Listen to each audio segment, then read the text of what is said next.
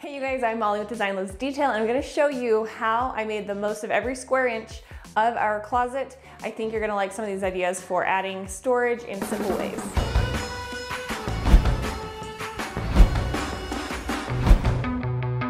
All right, so before we step in here, be sure to subscribe and hit the bell to be notified of when our next video is live. These doors you might recognize, they're similar to what I did in our office with the um, four glass panel. We had these ones custom built and they are painted in Boothbay Gray, which of course is one of my favorite colors ever. So we'll step in here. I did this because I love having natural light everywhere, obviously. Um, and though it's sometimes not ideal to have a huge window in your closet, you can use the shades when you don't want the beautiful light coming in. And I love that it allows the light into um, to pass into the bathroom as well through the glass. I don't know if I've admitted this yet, but I'm not very organized naturally. Like I have to work really hard at it. Ben is naturally organized, so his side is always under control. And I have some random crap piles like that. I don't, I don't really know what's in that sack. I had to buy that bag when we were in Mexico because I bought too many souvenirs. And so the lady was really smart and she sold me that huge bag. She's like, I have just the thing for you to carry your stuff. That's a fun memory. So over here, I did these hooks and they are awesome because obviously this would just be like a wasted space, but these like fit perfectly. I just found them online, so I'll, I'll link these, giving me so much storage for jewelry and scarves and things like that. So I'm really happy with that decision. We did have, um, I figured this plan out while we were building. So I did have our builder put this backing here, um, which is better for them to mount into so they're not going into the drywall. So I would recommend that if you, if you can put a little piece of backing. I really wanted this closet to have kind of like a little bit of, of a nicer feel than than what we had done in our past closets. And so this is what they call a face frame, I think is what he called it.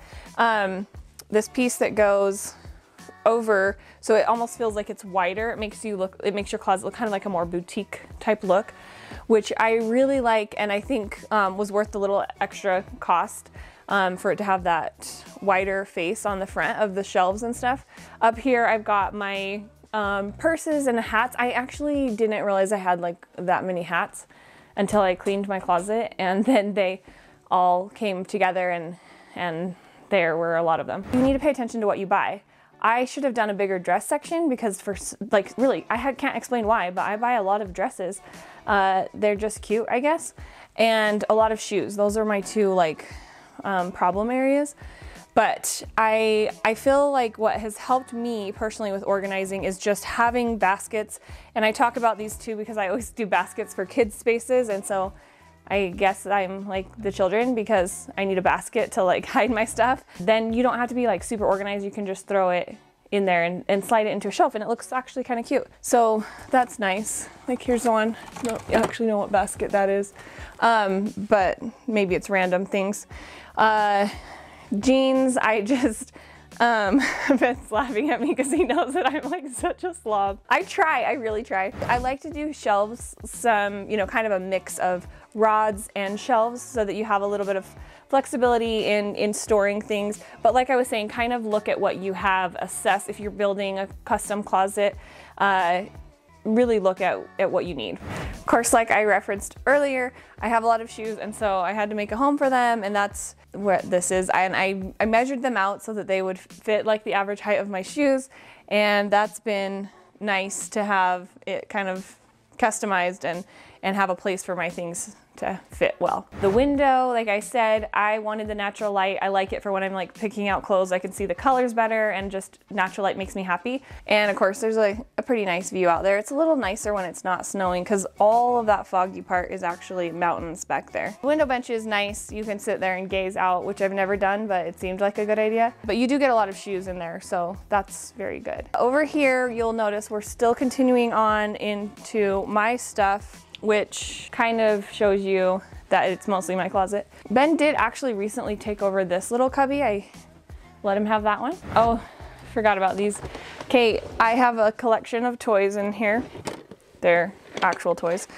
I am hoping some of you out there had these Littlest Pet Shops. I had these when I was a kid and I kept them. And my kids love them and Ben's giving me the signal like, go on, like don't keep talking about your toy collection, but I love them, so if you're a 90s child, you might know what those are. I also like to have a little fanciness and so this wood bead chandelier was a fun feature I think in this room and kind of gives it, you know, a little wow. So more cubbies over here. They're really good for, of course, like hats. You see how nicely his things are folded? That's so nice. He hangs up his t-shirts, most of them. There's like, I have never been able to differentiate between like the ones that are hung on hangers and the ones that are folded. Cause those are t-shirts too. Maybe they're older, like they get retired to the folding. Can you confirm or deny? Those are ones that uh, we keep that I don't want to get rid of. Okay, so these are exactly these are commemorative T-shirts down in the folded zone, nicely folded. So they're preserved. Uh, these are dressy clothes, and you'll see really his stuff is this, and then couple little cubbies mixed in. So that's pretty nice that he doesn't have a lot of requests for space. These again are kind of his version of mine. He also has a lot of ties. It's a nice collection and they can be nicely displayed with those hooks that are similar to my jewelry. And I love having the bench in the middle. It makes it so you have somewhere to sit, to put your shoes on or whatever. Um, they also, I mean, also makes it so you don't like run into the chandelier because it is kind of low, like, but having the bench under there, it's not really centered right now, but normally it's under that, um, helps you to not hit your head. In terms of the storage, I felt like this is the perfect size for us. Uh, we've done a few different kinds of closets. The first one we built was too big, the next one was too small, and like the three bears, this one is just right. So uh, that's a win, and I will see you next time. Be sure to subscribe and hit the bell to be notified when our next video is live.